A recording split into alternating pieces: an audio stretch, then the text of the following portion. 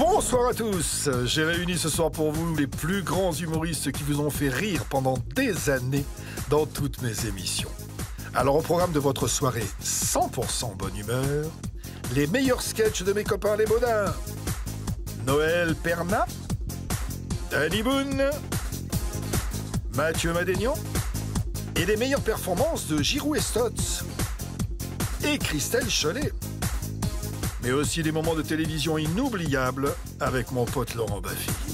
Vous me prenez pour un con, vous avez au moins 30 balais. Et Patrick Timsit. Ah, il te pique pas le moustique là-bas, il t'en parle. Je vous souhaite une excellente soirée.